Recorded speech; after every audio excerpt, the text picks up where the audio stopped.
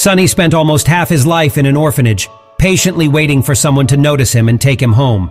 His days were filled with watching families come and go, but no one seemed to give him a second glance. But then, one miraculous day, everything changed. A couple named Emily and David walked into the orphanage and locked eyes with Sunny. It was as if fate had finally brought them together. The connection was instant, and in that very moment, Sunny's dream came true. He was going home. Sunny was over the moon with excitement as he explored his new surroundings. He quickly fell in love with his new life, his forever family, and his comfortable routine. He would bask in the sunlight, chase butterflies in the garden, and curl up in cozy corners, content with the warmth and love that surrounded him. However, Sunny's tranquil existence was disrupted when Emily and David brought home a newborn baby named Hazel. At first, the ginger cat wasn't impressed.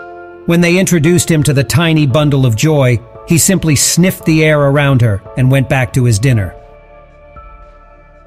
It was clear that Sunny was not immediately won over by the presence of his new sister.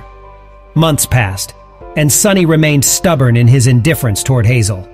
He kept his distance, showing no interest in her giggles or her tiny hands reaching out to him. Emily and David wondered if their beloved feline would ever warm up to their precious daughter. They worried that their furry friend would never accept her as part of the family.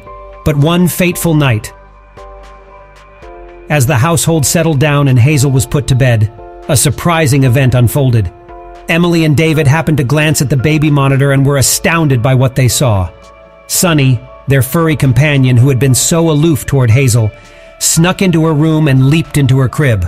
Curled up next to the slumbering baby, Sunny peacefully closed his eyes and fell asleep. The couple watched in awe as their once indifferent cat revealed a side they had never seen before. Sunny had always had a soft spot for Hazel. He just needed time to let it blossom. He had been silently watching over her all along. From that moment on, Sunny's secret was out, and he had no qualms about showing the world how much he adored Hazel.